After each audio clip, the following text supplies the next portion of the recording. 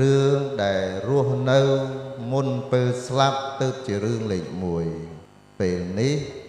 ឥឡូវនេះនេះខណៈពេលដែលពុទ្ធបរិស័ទដែលកំពុងតែស្ដាប់ឮមើលឃើញអីទាំងអស់ហ្នឹងនេះជាធម៌របស់ព្រះសម្មាសម្ពុទ្ធជាម្ចាស់ហ្នឹងគឺយកមកបដិបត្តិនៅពេលហ្នឹងហើយ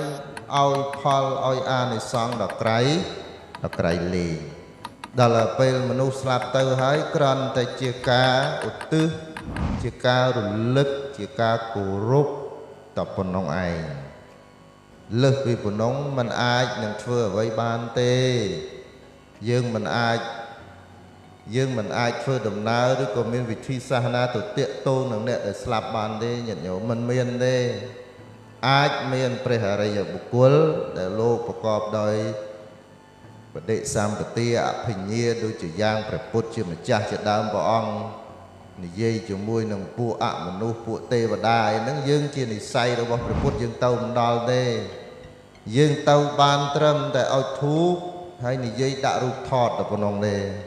ការបួងសួងក្តីការបូជាក្តីការធ្វើយ៉ាងណាក្តីនឹងវាអត់បានផលក្រៅតែអំពីការធ្វើបុណ្យនឹងទេឧទ្ទិសកុសលជូនចំពោះអ្នកដែលបានធ្វើការលកិរិយាទៅហើយ